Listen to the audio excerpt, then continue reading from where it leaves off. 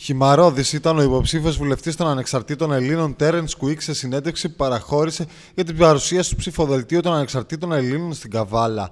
Ο κύριος Κουίκ αναφέρθηκε σε μια σειρά ζητημάτων από τις εξεταστικές για τις λίστες Λαγκάρντ μέχρι τα εθνικά θέματα και τη Θράκη, αλλά και το ενδεχόμενο να παίξουν οι ανεξάρτητοι Έλληνες το ρόλο του ρυθμιστή σε μια νέα κυβέρνηση ότι κατεβαίνουμε με πολύ δυνατά ψηφοδέλτια σε όλη την περιοχή της Ανατολικής Μακεδονίας Θράκης το θεωρώ βέβαιο με βάση και τα δημοσκοπικά μας ευρήματα ότι θα έχουμε τουλάχιστον τρεις έδρες στην περιοχή αυτή και με θεροβάμωνα θα τις έχουμε. Στο ψηφοδέλτιο της νίκης της Καβάλας κατά αλφαβητική σειρά είναι ο Ηρακλής Ανανιάδης συνεργαζόμενος από το ΑΚΕΛ, το, το κόμμα των αγροτών και των κτηνοτροφών από το Δήμο Νέστου, ο δάσκαλος Παναγιώτης Μαντέχος από τον Δήμο της Θάσου, ο Ευάγγελος Παπάς, ο πρόεδρος του Συνεταιρισμού Εργαζομένων στα Πετρέλαια, ο γιατρός ο κύριος Θόδωρος Παυλίδης, ο Γιώργος ο Τσακύρης που είναι από τους βασικούς μου συνεργάτες ε, στο Περιφερειακό Συμβούλιο και η Γαρουφαλιά η Τσίγκα από το Δήμο Παγκαίου της εύχομαι συλληπιτήρια γιατί σήμερα έχασε και ένα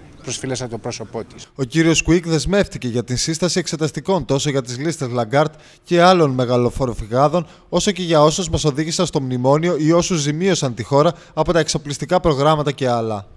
Οι ανεξάρτητοι Έλληνες σας διαβεβαιώνουμε ότι μετά τις εκλογές, μέσα στις προγραμματικές μας συμφωνίες, θα είναι η απόδοση δικαιοσύνης, θα δώσουν λογαριασμό όλοι εκείνοι οι οποίοι τσαλαπάτησαν, τσαλάκωσαν και καταχράστηκαν την Ελλάδα.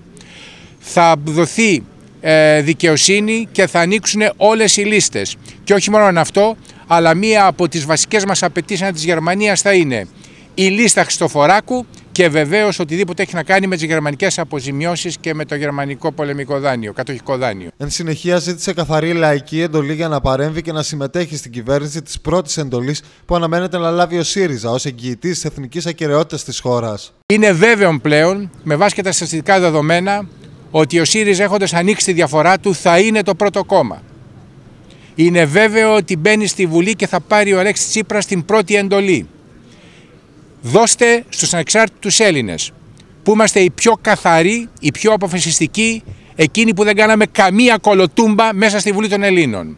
Δώστε μας την δύναμη να μπορέσουμε να κόψουμε την ενδεχόμενη αυτοδυναμία και πάνω απ' όλα να είμαστε οι θεματοφύλακες, να είμαστε το αναγκαίο καλό μέσα σε μια κυβέρνηση προασπίζοντας τις αξίες της οικογένειας, τις σχέσεις κράτους-εκκλησίας, να χειριστούμε το μεταναστευτικό όπως πρέπει το, να το χειριστούμε και όχι όπως λέει ο ΣΥΡΙΖΑ, τα εθνικά μας θέματα και βεβαίως τα οικονομικά ζητήματα όπου έχουμε και εκεί κάποιες διαφορές με τον ΣΥΡΙΖΑ. Ιδιαίτερα επιθετικός εμφανίστηκε ο κύριος Κουίκ και στην ερώτησή μας για τους 100.000 νέους που δεν θα ψηφίσουν. Ε, 100.000 που δεν ψηφίσουν. αυτό είναι ένα τεράστιο ζήτημα και ευχαριστώ που μου το θέτετε.